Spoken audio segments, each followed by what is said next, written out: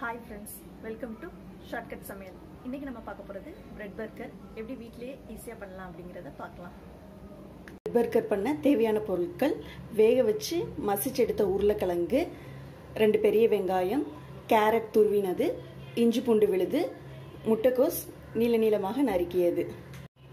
சிறிதளவு பட்டர் மல்லித்தூள் ரெண்டு டேபிள் ஸ்பூன் மிளகாய்த்தூள் அரை டேபிள் ஸ்பூன் மஞ்சள் தூள் சிறிதளவு கரம் மசாலா தூள் ஒரு டேபிள் ஸ்பூன் கார்ன்ஃப்ளவர் மாவு கொஞ்சம் தண்ணியில் போட்டு கரைச்சி எடுத்து வச்சுருக்கேன். சிறிதளவு மைதா மாவு தேவையான அளவு பிரெட்டு சிறிதளவு சீஸ் தேவையான அளவு ரவை.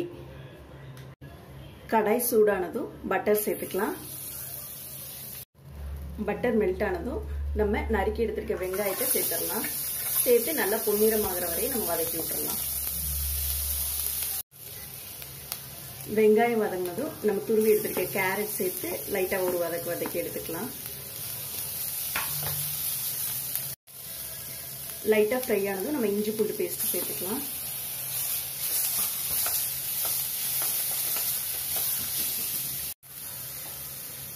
இஞ்சி பூண்டோட பச்சை வாசனை போனதும் நம்ம எடுத்துருக்க மசாலா பொருட்களை இதில் சேர்த்துடலாம்.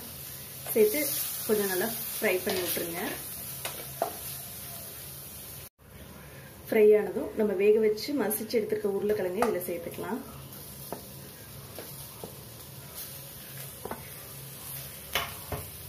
நல்லா மிக்ஸ் பண்ணிடலாம் இந்த மாதிரி மிக்ஸ் பண்ணி ஒரு டூ மினிட்ஸ் போல் சிம்லே வச்சிருக்கலாம். பால்ஸாக ரவுண்ட் பண்ணி இந்த மாதிரி தட்டி எடுத்துக்கலாம்.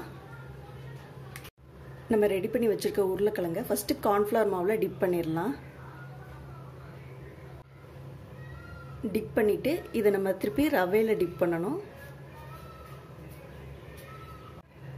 இந்த மாதிரி ரவையில் டிப் பண்ணிவிட்டு நம்ம இங்கே எடுத்து வச்சுருக்க மைதா மாவில் லேசாக டிப் பண்ணிக்கலாம். டிப் பண்ணி நம்ம ஃப்ரை பண்ண வேண்டியது தான் என்ன சூடானதும் நம்ம ஒவ்வொன்றா சேர்த்துக்கலாம். ரொம்ப ஹை ஃப்ளேமில் வைக்க வேண்டாம். ஒரு மீடியம் ஃப்ளேமில் வச்சு நம்ம ஃப்ரை பண்ணி எடுத்துக்கலாம். இந்த மாதிரி ரெண்டு பக்கமும் ஈவனாக குக் பண்ணி எடுத்துக்கலாம்.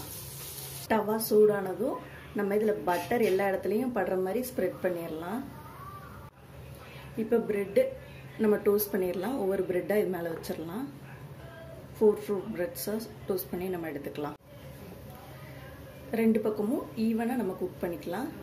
லைட்டாக ஒரு கோல்டன் ப்ரௌன் கலர் சேஞ்ச் ஆகிறப்போ நம்ம ப்ரெட்டை எடுத்துடலாம் இந்த மாதிரி டோஸ்ட் பண்ண ப்ரெட்டை ஃபஸ்ட்டு எடுத்து வச்சுக்கலாம்.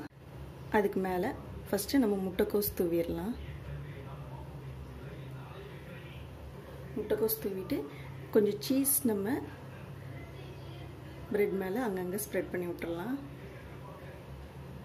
ஸ்ப்ரெட் பண்ணதுக்கப்புறமா நம்ம ஃப்ரை பண்ணி எடுத்து வச்சுருக்க உருளைக்கிழங்க இதில் வச்சுட்டு மேலே கொஞ்சம் முட்டைக்கோஸ் தூவிக்கலாம். அதுக்கு மேலே திருப்பியும் கொஞ்சம் சீஸ் போட்டுக்கலாம். திருப்பி இந்த ப்ரெட்டை க்ளோஸ் பண்ணிடலாம். க்ளோஸ் பண்ணிவிட்டு நம்ம லைட்டாக ஒரு டோஸ்ட் பண்ணி எடுக்க போகிறோம் ஃபைனலாக ரெண்டு பக்கமும் டோஸ்ட் பண்ணி எடுத்துடலாம். சுவையான பிரெட் பர்கர் ரெடி